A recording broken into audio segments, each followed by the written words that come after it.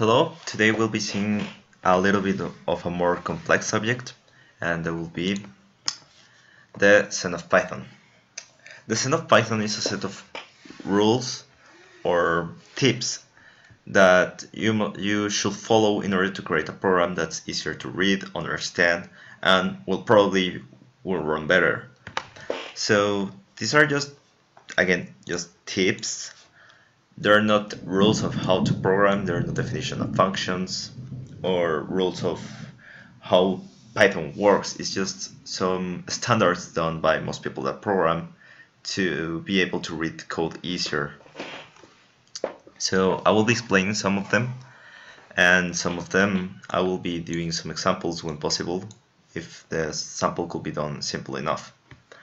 So beautiful is better than ugly. Well, that's a simple example. You just want your program to look nicely enough. I mean, yes, you could write, for example, let's say print and I go like this, I go like hello world and then have something like this and many spaces maybe go like this. Like yes this is gonna work but we don't want this in our program. This code is gonna be harder to read and understand and just looks really dumb in your code. This way just simply put it all together in one simple line. Let's print hello world and this is why beautiful is better than ugly. Explicit is better than implicit. Just try to leave all your variables explained and don't try to make let's say to think that because Python does some things automatically you can't specify how it works because you know specifying it helps other people read your code and that helps other programmers to be able to understand your program and see if there could be an improvement or even to understand if there is an error and just does the debugging easier. Simple is better than complex. So it's just a simple rule. Just try to make your code as short as possible. If there is, for example, a function that will give you the answer of a program of that will actually give that will actually work and do what you want it to do in, for example, two or three lines of code, then of course that's going to be better than some kind of function that maybe will do the same thing, but you will need, for example, seven or even more lines of code. So just try to keep it as simple as possible, but it's complex is better than complicated. So yes, maybe you can do it in two lines of code, but maybe you need to set a lot of variables, or maybe you have to use some really obscure functions, or do something that will really make it hard to understand what you're doing.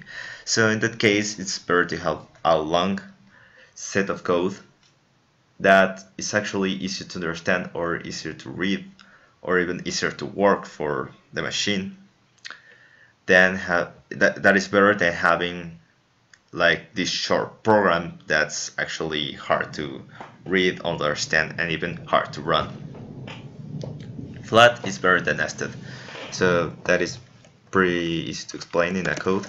So you have the if, you have else. So what if you want more conditions? So you can nest it, of course. You have you will have an if and an else inside your first else. But this is actually not recommended as it makes your program more complex and more complex. For example, if we wanted even more conditions, you will go like if and maybe another else. And we don't want this. So what you're gonna do is instead have an elif and as simple as that you have already created a more simple to read program. And again if you wanted more conditions you simply add more elifs instead of having to nest it and nest it over and over sparse is better than dense, so this means just a space your program. So for example, if you're defining a function, whatever it is, and maybe you are maybe you're defining uh, you're adding values to some variables. So maybe you want to space that and be like x equals to 2, y equals 3, and maybe z equals 5. Sorry. And instead of having it all together, maybe your operations are gonna be somewhere else like I don't know multi is gonna be equal to x times z and then space your print multi so this is just an easier way to read it again this is a simple program so maybe the difference is not all that much but it helps you see where you're defining some variables where you're doing your your operations and when you're having some output. So divide, dividing your code like this makes it way easier to see what you're doing in each of the parts. And the same goes with readability counts. Again, this goes back to maybe your print. Uh, mm, hello world. And yes maybe you can go like million spaces over here and be like this and you know what? It's gonna work. But why would you do this? It's hard to read. People it's it's not just thinking the machine will be able to do it but also think a human should be able to read it and understand what's going on again this is for debugging purposes and for other programmers to be able to work with your code as much as you work with it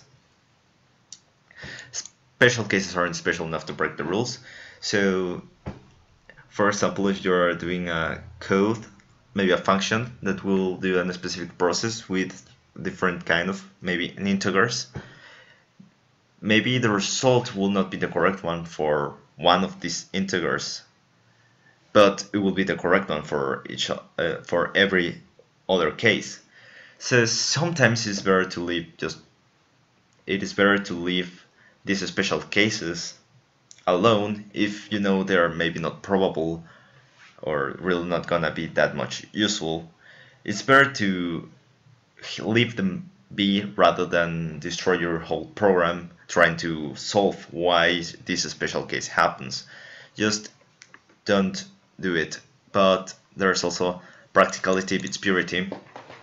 So yes uh, if your code is not to work with a lot of variables, then you should try to destroy your code, try to solve that.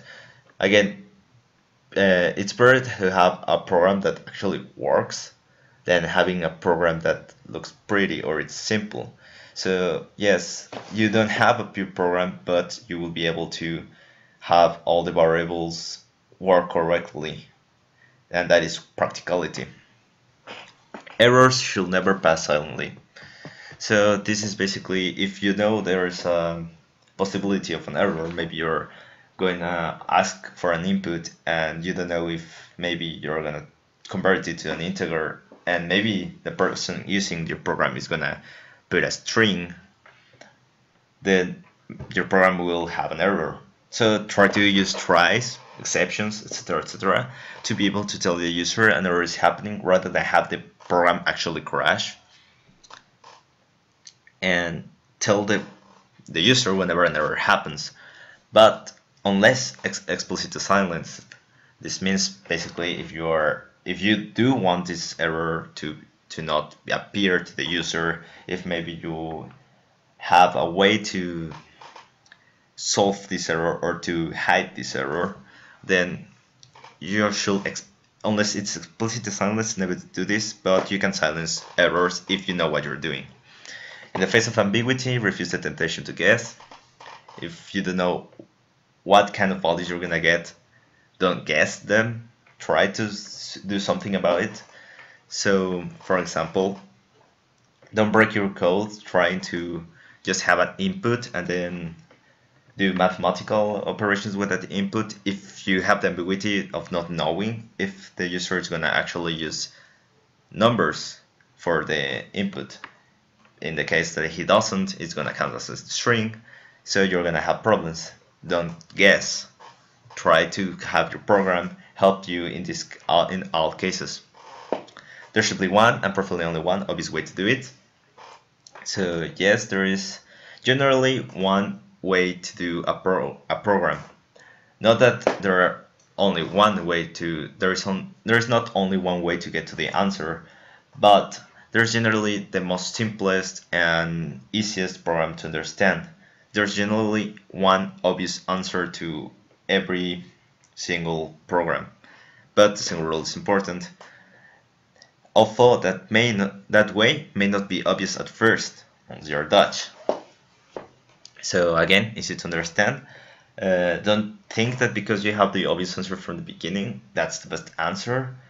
Remember that you can always maybe shorten your code or make it simpler or less complicated or just follow any of the other rules. Yes, you may be getting the answer, but try to make your code as elegant as possible.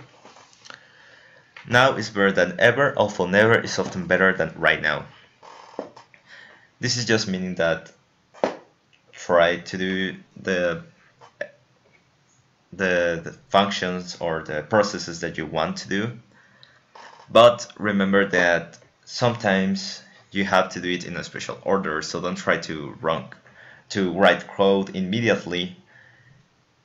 Uh, instead, try to write code when it's needed or after it has been a, a variable has been used. So don't change don't change immediately the value of a variable if you're still gonna use the old value of that variable, etc., etc. Uh, if the implementation is hard to explain, it's a bad idea. If the implementation is easy to explain, it may be a good idea. So yeah, sometimes your program, you may think that something is missing or that you can add something and make the program better. But it's always useful to to think it will, will be easy to explain that program.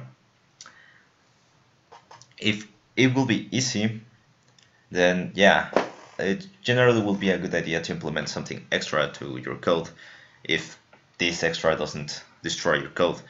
But if you really cannot find the words to explain what you're doing with this implementation and it will be hard to make the user understand what he's doing or maybe even other programmers who are reading your code it's generally not a good idea if you're only accomplishing the goals of your program you should not try to do these implementations that are gonna make it harder to understand.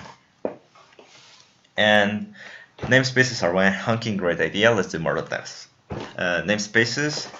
So namespace is kind of a library of names, a space where a lot of names are um, saved. And this, for example, works a lot with importing modules and stuff like that. So yeah, it's basically that using a lot of these libraries, creating modules that have a lot of names in it, and then using namespaces for other programs with from those modules is uh, something that's really useful and it's gonna help you, especially when you're gonna have to import other programs or import libraries or import whatever other function from another module from another program you have created. So yeah, try to use namespace whenever you you find you think it will be useful. And that will be all. That's the Zen of Python. Just a set of little rules that you should follow in order to make it easier for every single programmer to understand your code and helping you understand your own code, remember what everything does, and of course, help you debugging in case of any bug appearing in your code.